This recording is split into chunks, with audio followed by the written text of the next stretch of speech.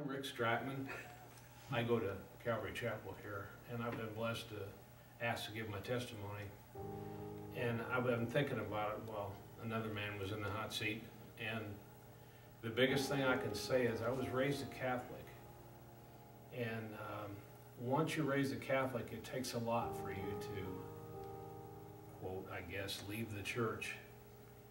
And so yeah, I wasn't until probably uh, I think I was already working in a factory after being in the Air Force that I finally realized that the way my life was going and the things I said and the way I acted, and the only thing I heard coming through everything was someday you're going to be judged.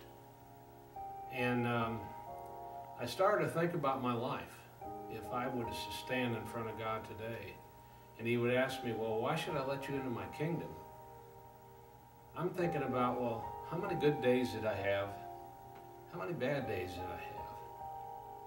And the more I thought about it, growing older and older, was, uh, you know, I don't have a clue. And it scares me to have to stand there in front of God, in front of Jesus, and say, well, I had a lot of good days. Because I don't know how many I had. I don't know totally what he wants me to be doing. And it comes to you point blank, hard and center. I need a Savior. And we're taught Jesus is your Savior. And the more I learned about Jesus and Him taking my sins and dying on the cross, the more I realized I needed Him. And the more I needed Him, more I thought about it, the more I knew I needed to change my life. And I needed to get to the point where I was just totally exhausted and trying to do everything myself. Self-indulging, self-power. I'm, can do it. I can make this right. I can make that right.